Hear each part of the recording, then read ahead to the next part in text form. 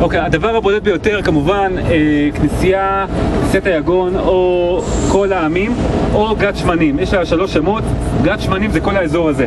גת שמנים משמר את השם, גת, מקום לעשות יין, שמנים, מקום לעשות שמן, כלומר זיתים. גת שמנים, מקום מאוד מאוד מאוד חשוב לנוצרים. הסיפור הולך ככה, אחרי הסעודה האחרונה, שכנראה היא הייתה הסעודה לפני ליל הסדר. זה לא ליל הסדר, זה היה ערב לפני ליל הסדר. וישו יורד לפה להתפלל אחרי ליל הסדר, וכאן אה, הוא יושב ומתפלל. ואז אה, תופסים אותו, ומביאים אותו, אה, ל... אה, מסגירים אותו, בהמשך הוא יוסגר לרומאים.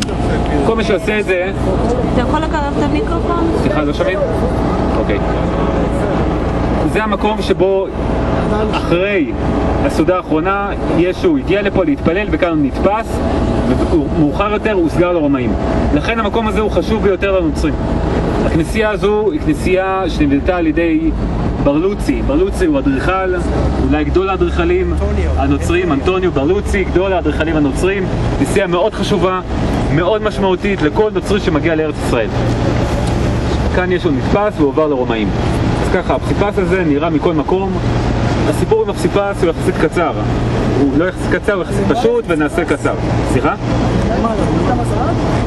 זה ברקע זהב, אוקיי, אני אגיד בדיוק מה אנחנו רואים בקצרה. רואים את ישו באמצע עם אה, צבע ארגמן, צבע מלוכה. מצד ימין רואים אנשים, האנשים האלה מיוצגים כעניי העם, הם בוכים על גורלו. מצד, מצד שמאל אנחנו רואים את העשירים דווקא. הם גם בוכים על גורלו, ורואים שם אחד מהם מחזיק ספר עם כתובת קטנה, עם אה, מילה אחת. המילה הזאת בלטינית, הפירוש שלה זה בורות. הם מתנצלים על כך שהם לא אה, קיבלו את ישו בזמן, לא קיבלו את מלכותו. ישו באמצע, מעליו יש שתי אותיות, אלפא ואומגה, אני ראשון ואני אחרון, זה א' ות', זה כמו אטבש. למעלה רואים את שתי האייל- האיילים, כמו הפסוק מתהילים. אה, מה- מה? אני... כן, בדיוק. אה, כן, הציטוט נמצא בתיק, אני כרגע שכחתי אותו, בואו נגיד את זה ב... אייל תהרוג נפשי על התיקים. באמת, אני ככה... כן, נפשי. אז אה, זה סיפור הפסיפס. אה, מצד ימין נוכל לראות את הכנסייה הרוסית, מריה מגדלנה, גם מסורת נוצרית חשובה. מצד ימין את בית הקברות החדש, שער הזיתים. עכשיו בואו נסתובב לכיוון הר הבית.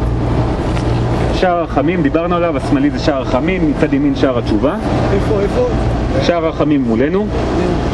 אה, השער כיום נבנה כנראה בתקופה הביזנטית, נסגר בתקופה העות'מאנית. אבל הוא פתוח. מצד, לא, הוא לא פתוח, הוא סגור. מצד שמאל נוכל לראות אה, מין את הכותל המזרחי בפינה שלו, בערך 40 מטר מהפינה, אזור לבן. כן. זה האזור שהמוסלמים פרצו כחלק מהסיפור הזה של אה, בניית המסגד. אפשר לראות שם קיר לבן מבלוקים בתוך הכותל. זה חלק מהפרצה שהם עשו כחלק מהחפירות שלהם וחלק מבניית המסגד. אה, לפני שנמשיך, איזה מקום בעולם הוא דבר. כן, לא, זה באמת, באמת טרגדיה. באזור ההוא נוכל לראות שם שתי דגלי ישראל וגם חבר'ה שעומדים שם. יש שם אנדרטה אה, שמזכירה את הקרב של חטיבה 55.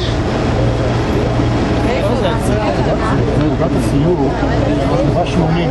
אה, אוקיי, סליחה, מתקנים אותי? 80, שירדה פה, נכנסה למערב, ירדני, ונר ציון וכל החבורה שלה, בשאר האריות פלוגה, ירדה מחלקה.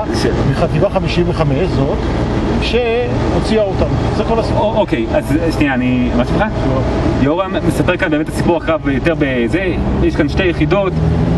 אה, חטיבת 55 צנחנים וגם אה, חטיבה 80 אבל. החטיבה הצפונית זה קצת אה, סיור מורשת קרב באמת נעשה את זה בהזדמנות אחרת קצת מורכב בכל מקרה קרב גדול היה פה אה, בשחרור ירושלים 1967 הכוחות בסופו של יום פרצו דרך שער האריות והשער היסטוריה שער האריות נמצא בדיוק שם מאחורי הדגלים 50 מטר לכיוון. תגיד שהתמונה הופיעה בפרסום למחר לשער הגיא. אה, אוקיי, בפרסום למחר לאירוע של בית ספר שדה שער הגיא אה, שרים אה, שישה ימי תהילה. שישה ימי תהילה. מתחת לתנועת הצנחנים יש את התמונה של האנדרטה. אה, אוקיי. אז אה, באמת בפרסום מחר, ביום העיון, יש את התמונה של האנדרטה שם. אחד אני יכול לראות את האנדרטה. אוקיי, בואו נמשיך ליד אבשלום. בדרך יש שירותים וגם יהיה קיוסק, אז אולי נעשה שם עצירה לשירותים ומי שרוצה לקנות קולה